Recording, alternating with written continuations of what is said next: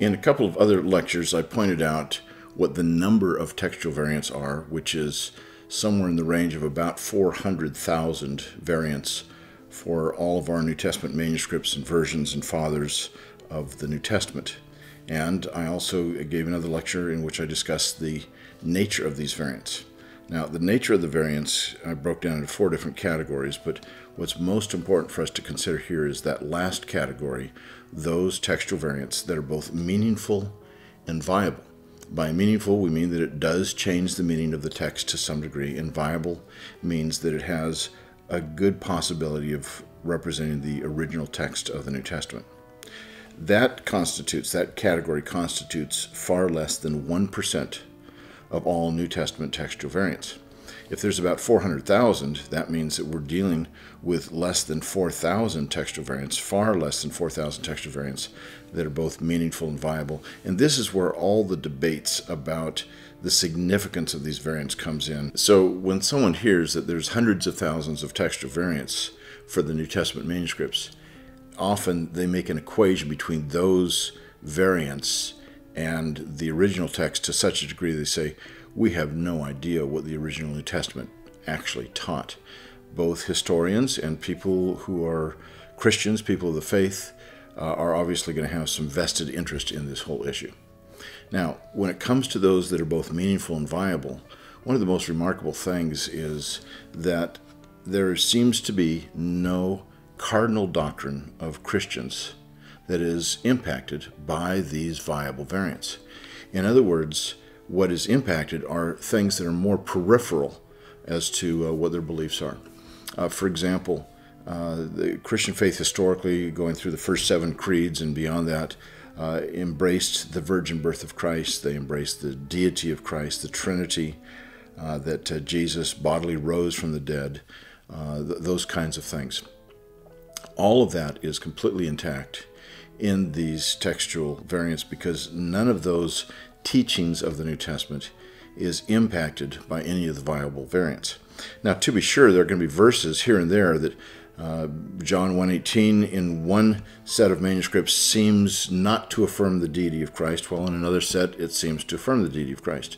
1 Timothy 3:16 in one group of manuscripts says who was manifest in the flesh, and another group says God was manifest in the flesh, both of them referring to Jesus. One of them seems to be an explicit affirmation of the deity of Christ, while the other one does not. That's certainly true on that level, but that doesn't mean that overall the New Testament text is uh, altered significantly to change uh, one of these beliefs. In other words, if someone didn't have 1 Timothy 3:16, he'd have plenty of other verses that the New Testament seems to affirm the deity of Christ. Same thing with the resurrection of Christ. Mark's gospel, I believe, ended originally at uh, verse 8 of chapter 16. There you have Jesus appearing to the angels and telling the angels that they need to talk to these women and that he'll meet his disciples in Galilee. And so the angels tell the women that Jesus is not here, he's risen, he's gone on ahead of you to Galilee. So the women get an angelic testimony that Jesus is raised from the dead, but there is no appearance by Jesus in Mark's gospel of his resurrection. Some would want to turn that into saying Mark's gospel therefore does not affirm the resurrection of Christ, which really is nonsense. It's not a, not even a careful reading of the text. Mark's gospel, of course, affirms the deity of Christ, but the question is, does Mark have any appearances by the risen Christ to his disciples? And in the original form of gospel, uh, Mark's gospel, I would say no, it does not. There are two passages in particular where there's quite a bit of emotional baggage attached to the text there are only two texts in the New Testament where we have more than a couple of verses that are either added or deleted by any major group of manuscripts, and especially those that have made it into uh, translations. We're talking about Mark chapter 16, verses 9 through 20, and John chapter 7, verses 53 through 811. These two passages are 12 verses each, while as the next largest one to add or lack uh, material is two verses, and we only have about two dozen places where there's one or two verses that are added or deleted depending on what the manuscript testimony says. Those two patches, uh, passages then make a quantum leap, six times the size of the next largest passage, and through a tradition of timidity, those two texts have found their ways into translation of the Bible ever since the King James and beyond, especially. Even though now modern scholars would say most likely these two passages at the end of Mark and the middle of John do not belong in our Greek New Testaments. Now, if we get rid of the long ending of Mark's gospel, where you have the disciples being told that they will be able to pick up snakes and uh, not uh, die if they get bit, uh, they can drink poison and they won't die. There's other things, they'll be speaking in foreign tongues, this kind of thing. Uh, it looks as if, to some people, this means that this is a cardinal truth of the Christian faith, and if we get rid of that, we've got a problem. However, it, what, what really has happened with Mark's Gospel is uh, the later editor for those 12 verses who added that to Mark's Gospel did it very early on, early in the second century, got it most likely uh, from the book of Acts and then from some material out of Luke and Matthew, because we read about how Paul was bit by a snake and he didn't die, and uh, th- those sorts of things. There was early church tradition about uh, some other issues that probably crept into that ending of Mark's Gospel. But there really is no essential Christian belief that's in those 12 verses that is at stake. That if you remove those verses, you lose it. If you keep those verses, you have it. And, and a careful reading of this is going to reveal that pretty plainly.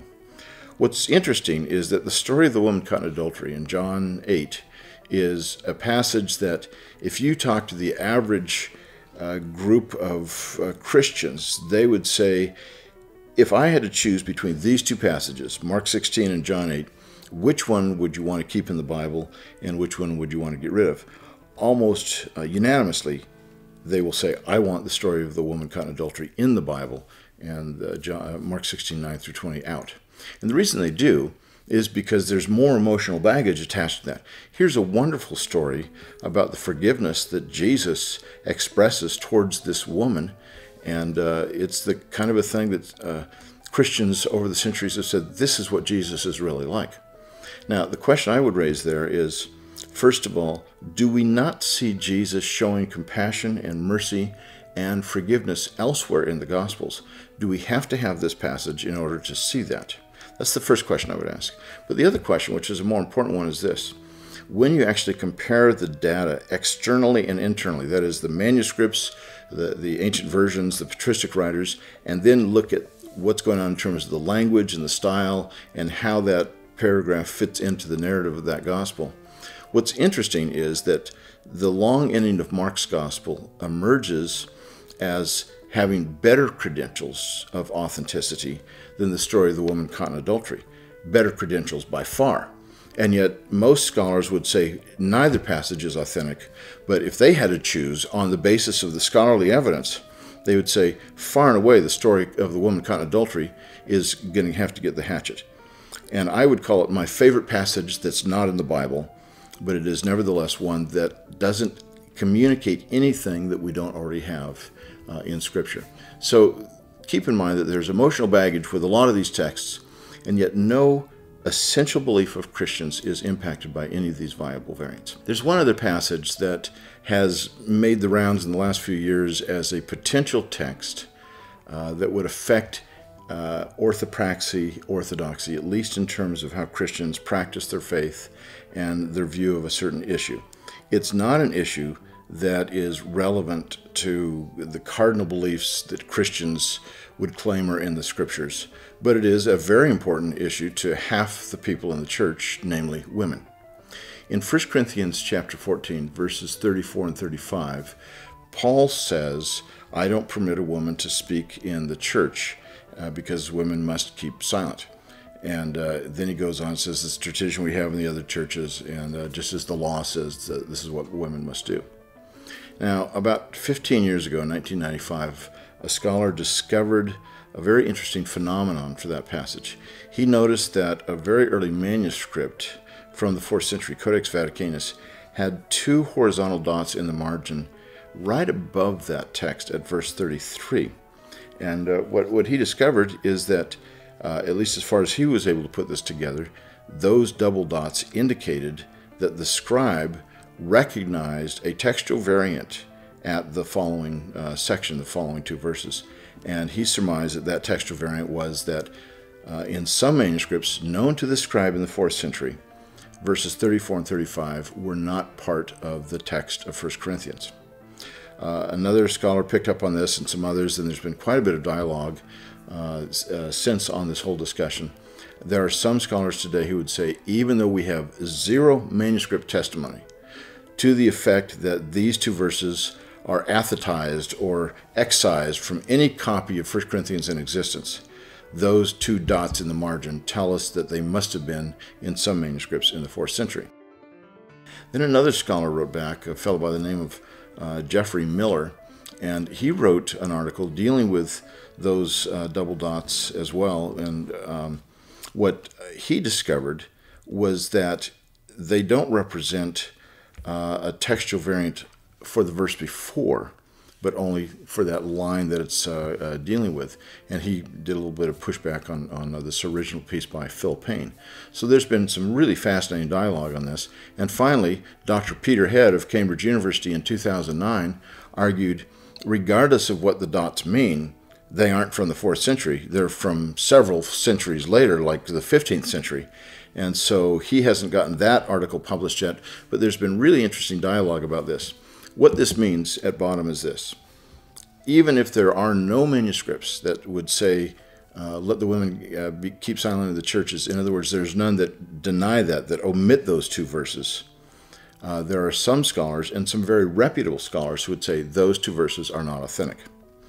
Uh, on the other hand, uh, you've got the evidence so far has been rather scanty, a couple of dots in the margin, and uh, those dots have been interpreted in three or four different ways in terms of the date when they were written as, and as to what they uh, discuss.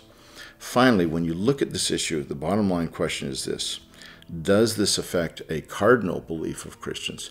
And uh, the role of women obviously is a, a hot button issue, a very important issue that uh, uh, Christians especially need to deal with and how they relate to what uh, Paul is saying on this. But it is not something that affects the essence of the Christian faith. It is not a cardinal doctrine, it's not part of the creeds that the church has always embraced, uh, but it's uh, one in which there's quite a bit of emotional baggage, and rightly uh, so for that. But, but that's it.